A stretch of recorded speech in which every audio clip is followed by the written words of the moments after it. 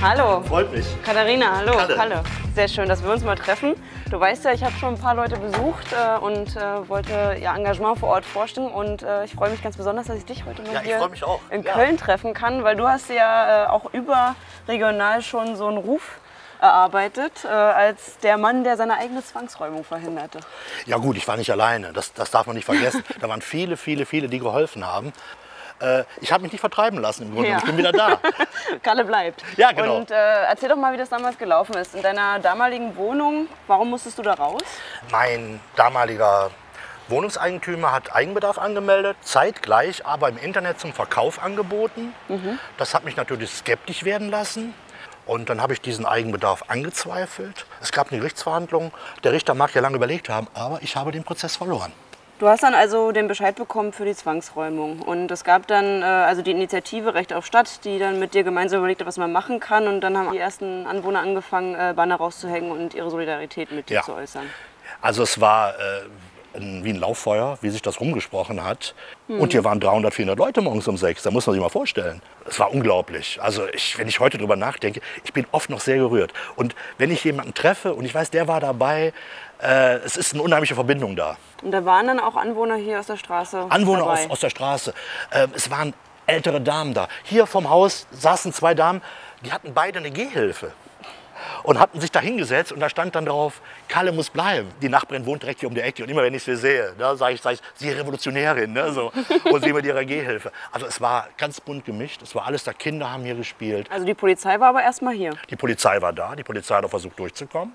Es ist klar, eine Zwangsräumung kann man auf Dauer Ja. nicht verhindern. Das ist sowieso klar. Man kann ein Zeichen setzen, man kann einen Protest machen.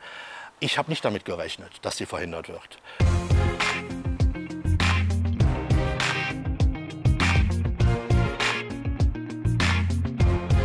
Du hast ja auch den Beinamen Mietenkalle bekommen. Mietenkalle, Mietrebell. Ja. Äh, Einer nannte mich der Che Guevara äh, der Mietenpolitik oder so ähnlich. Also, das gab schon ganz verrückte Sachen. Ja, ja. Hallo Regina. Und du bist jetzt nach deiner eigenen verhinderten Zwangsräumung, äh, hast du ja angedeutet, schon politisch auch aktiv geblieben, der Bewegung auch erhalten geblieben. Was machst du da jetzt heute noch? Ja, also ich bin Teil der Bewegung Recht auf Stadt. Wir unterstützen Menschen, die äh, Wohnungsprobleme haben, die von äh, Zwangsräumung bedroht sind, die vielleicht äh, in verschimmelten Wohnungen wohnen, äh, wo es Probleme mit dem Vermieter gibt.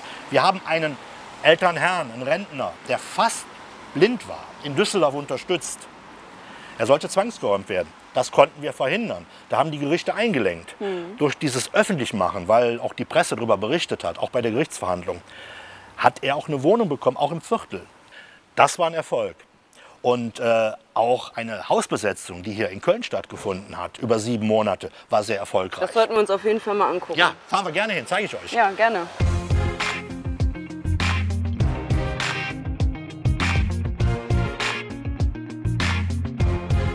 Jetzt hast du dich bei der letzten Landtagswahl entschieden, als parteiloser Kandidat für die Linke anzutreten. Das ist ja wahrscheinlich so eine Entscheidung, die fällt man nicht so aus dem Handgelenk, sondern die überlegt man sich gut, oder? Ja, da wurde drüber diskutiert. Es gibt auch Nachbarn, die mir ganz klar gesagt haben, Kalle, ich finde das ganz toll, was du machst.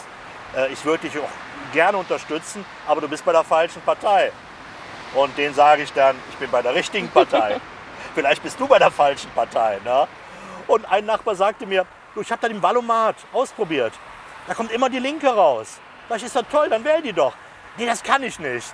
Also äh, es sind Prozesse, die da im Gang sind. Und äh, ich sage mal, es gibt auch einige Menschen in meinem Umfeld, die sind noch lernfähig. Und äh, da hoffe ich drauf. Zülpicher Straße 290. So, und jetzt stehen wir hier direkt neben dem Hausprojekt, was du äh, auch als ein erfolgreiches äh, Beispiel gebracht hast für Ja, eure Auseinandersetzung hier in Köln. Ja, das ist äh, im Dezember 2015 besetzt worden. Äh, es war sehr kalt. Man hatte die Idee, auch Obdachlose hier unterzubringen. Und über diesen gesamten Zeitraum gab es Verhandlungen mit der Stadt Köln, ne, wie gesagt, mit der Kölner Politik, mit den Besetzern. Und jetzt ist es so, dass hier kräftig renoviert wird. Und es werden hier Geflüchtete einziehen. Es werden äh, vielleicht auch wieder um die 20 Apartments sein, das weiß ich nicht genau. Ich kann verstehen, dass das hier so ein Projekt ist, wovon du gerne erzählst, weil es natürlich ein wunderbares Beispiel dafür ist, dass man auch was erreichen kann, wenn man sich rührt. Ja, also ich bin sehr gerne hier, wenn ich hier vorbeifahre. Es freut mich jedes Mal. Ich würde euch aber gerne noch mal was anderes zeigen. Wir hatten einen Protest in Presseling Da haben wir auch viele Leute auf die Straße bekommen, um die 600 Leute innerhalb von kurzer Zeit. Und äh, Schauen wir uns das mal an. Na klar, gerne.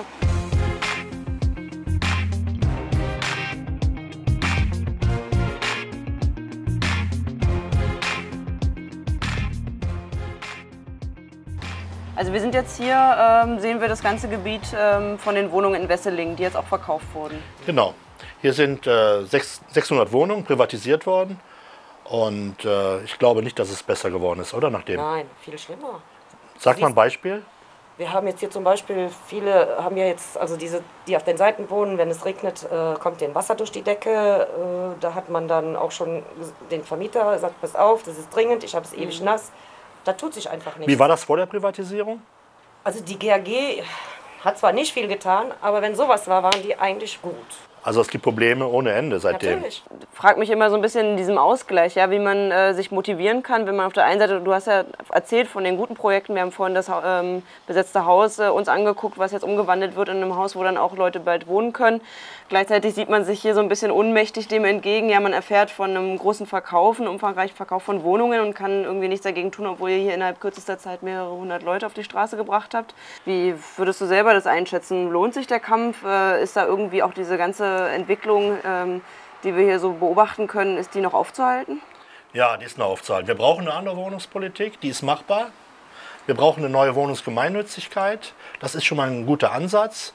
Da müssen Konzepte entwickelt werden. Und auch bei allen Niederlagen, die man einsteckt, äh, lohnt es sich trotzdem immer wieder weiter zu kämpfen, weil wir haben auch Erfolge zu verzeichnen. Und da bauen wir uns dran auf. Und äh, wir werden auch weiter Erfolge haben. Da bin ich sicher. Gehört die Stadt den Menschen oder gehört die Stadt dem Geld? Spekulanten wollen uns vertreiben, aber wir bleiben. Gehört die Stadt den Menschen oder gehört die Stadt dem Geld? Spekulanten wollen uns vertreiben, aber wir bleiben.